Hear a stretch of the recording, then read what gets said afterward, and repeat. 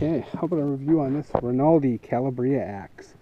Really cool axe for the money. I paid some, I had to dish out. It was like 70 bucks. But yeah, whew, what a nice axe. Um, got it from baryonyxknives.com. Took like a week to get here. And plus I did the option, they will uh, thin the edge out for you and get it razor sharp, which it was. It came uh, hair shaving sharp and I got it. Sorry guys, the bugs are terrible out here, but it's been a training day. I've been out here uh, doing some shooting and I brought this axe with me because you know what, whenever you go out to do one thing, you do other things. So I brought this axe and I actually used it to clear out this uh, shooting lane you see here. And also did a little bucking and all that and made sure I had a nice little backstop. So I saw a lot of work today, so it's kind of kind of cool and I'm kind of ready to uh, review it. So it's a carbon steel axe head. They don't re reveal what kind of axe head, but I believe it's uh, like a spring steel almost. And it's a friction fit handle, so there is no wedge on this thing. It actually fits just like a tomahawk, which is cool. And you can see it is obviously press fit. There's a bit of a shelf there, so sorry guys, bugs. Um, I'm gonna have to take that off and ooh, these horseflies are terrible. And uh, take that off and uh, sand it down and get rid of that shelf and make it a true friction fit. But the handle has some really light varnish on it. It's got this uh, label here I'll show you, just in case. This is the Calabria, I said. It's a two pound axe, on a, I think it's a 22 or 23 inch handle. There's all different kinds of options, guys, from like a one pound head all the way up. Very nice grain orientation. You can see it's almost a perfect 90 on that. Very good straight grain, even all the way to the top. No runoff or anything. Very good handle. The uh, fit and finish on the blade's really good. It's got a nice flat back for uh, pounding tent stakes. Really nice, good kind of tomahawk design to it. With a very sharp edge, very thin uh, blade profile to this thing, guys. Ooh, these, oh, these horseflies are killing me, guys. We're going to make this quick. Uh, very good performance out of this. Um, like I said, I use it to basically clear that path.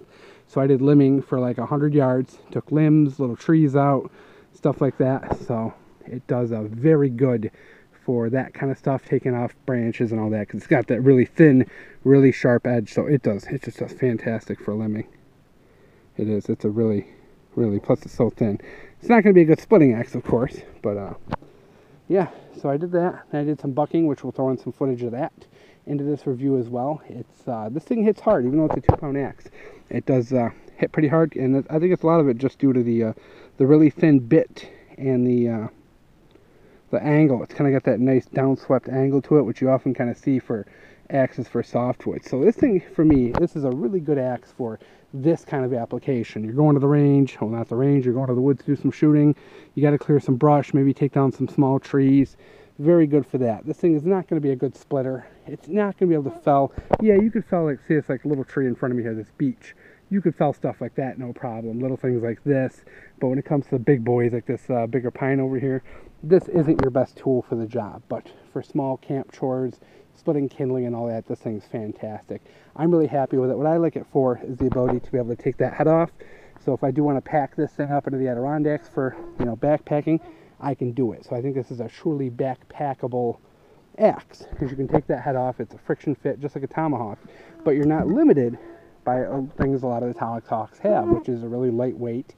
But this thing hits like a, a good, hard, heavy hatchet, but it also has the length that you can do some felling and, you know, this thing you can really get... Uh, you can really get a good swing on this thing. It really does, uh, just the angle, the uh, balance and all that. It does a really good job with all that. I think it's a very nice balanced axe.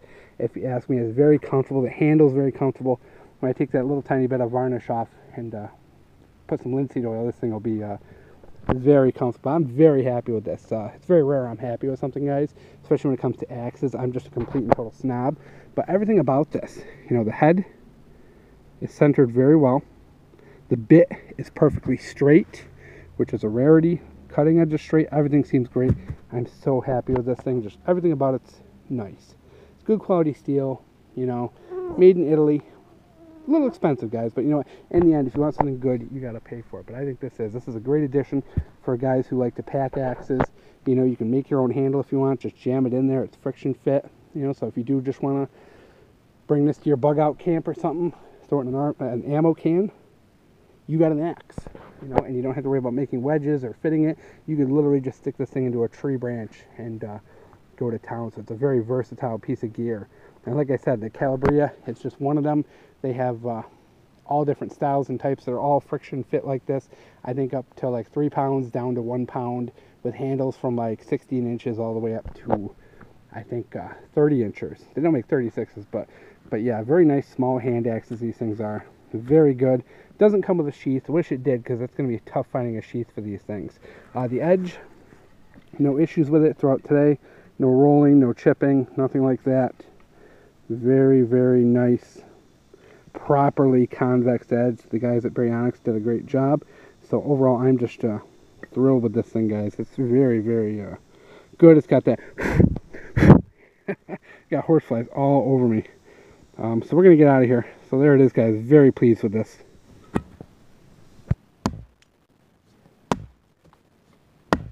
See, it's pretty. You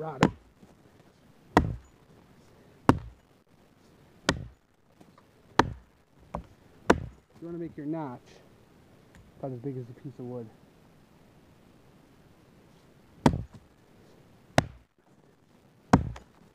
This thing bites really deep.